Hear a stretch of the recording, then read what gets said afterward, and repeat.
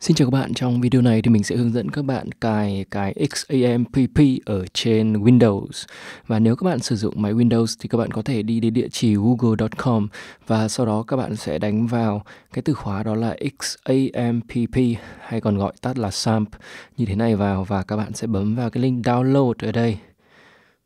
Và hiện tại thì cái máy mình đang sử dụng là máy ờ, Mac OS X nhưng mà các bạn đừng lo, thì ờ, cái việc mà cài đặt cho Windows thì nó cũng tương tự như vậy thôi. Thế nên là các bạn sẽ lựa chọn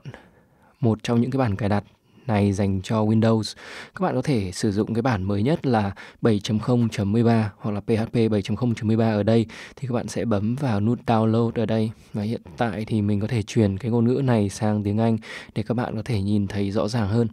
Ở đây chúng ta sẽ chọn cái phiên bản mới nhất, sau đó thì chúng ta sẽ bấm vào nút download thì ờ, uh, 32 bit này thì uh, chúng ta sẽ không cần quan tâm là máy tính của bạn là 32 bit hay là 64 bit, cả hai loại này đều có thể sử dụng được cái bộ cài đặt 32 bit này và bây giờ thì mình sẽ bấm nút download.